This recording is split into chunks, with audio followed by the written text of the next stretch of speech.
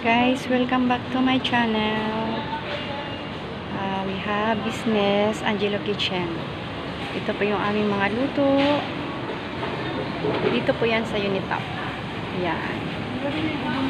Pansit, may fried chicken with pansit.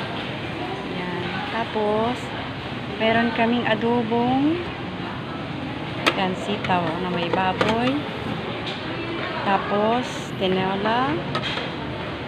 Tapos, ginataang puso. And then, igado. Ah, igado nga. Yan. Yan ang pansit namin. Tapos, may juice din kami. Mango juice. Nagpapa-order din kami ng pizza, guys. Yan. Order na sa Angelo's Kitchen. Tapos, ito yung aming mga soft drinks. Yan, guys. So, gumagawa kami ng pizza dito. Nagmamasa. Pero tapos na. Ayan. Para ready to cook na siya. Ayan, si Kuya Mike ang gumagawa ng pizza.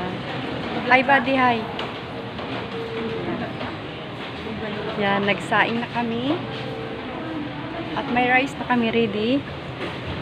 Sa umaga. Ayan.